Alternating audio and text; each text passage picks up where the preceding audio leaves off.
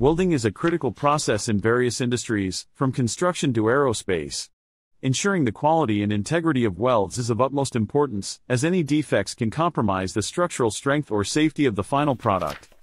This is where non-destructive testing, NDT, comes in. Unlike destructive testing, which involves damaging the weld to assess its quality, NDT methods allow for thorough inspection without affecting the weld's integrity.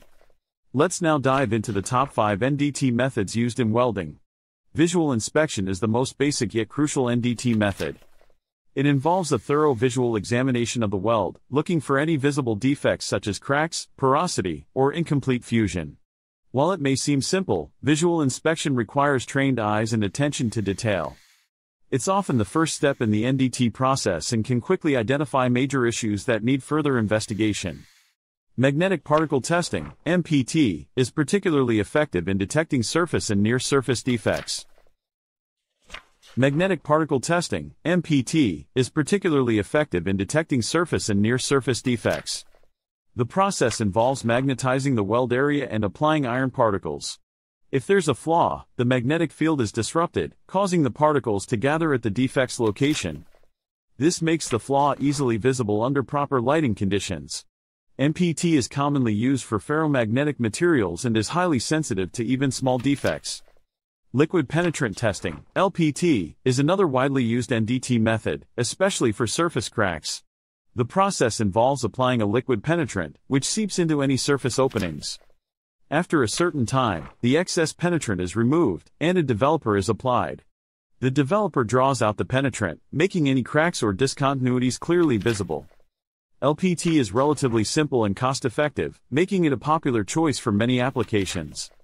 Ultrasonic testing, UT, is a versatile NDT method that can assess both surface and internal defects. Ultrasonic testing, UT, is a versatile NDT method that can assess both surface and internal defects. It works on the principle of sound waves, with the transducer sending high-frequency waves into the weld. If there's a flaw, the waves are reflected back, and the transducer picks up the signals. By analyzing the time taken for the waves to return and their intensity, the inspector can determine the size, location, and nature of the defect. UT is highly accurate and widely used in various industries. Radiographic testing, RT, involves the use of X-rays or gamma rays to inspect welds. The radiation passes through the weld, and a film or digital detector captures the resulting image. This image, known as a radiograph, shows the internal structure of the weld, including any defects. RT provides a comprehensive view and is particularly effective in detecting volumetric flaws such as voids or inclusions. However, it requires specialized equipment and trained personnel to ensure safety. Non-destructive testing, NDT, methods play a vital role in welding quality control. By employing these techniques, inspectors can identify and assess defects without compromising the weld's integrity. Each NDT method has its strengths and limitations, and often a combination of methods is used for a thorough inspection. As technology advances, so do NDT techniques, with innovations like automated systems and digital imaging enhancing efficiency and accuracy.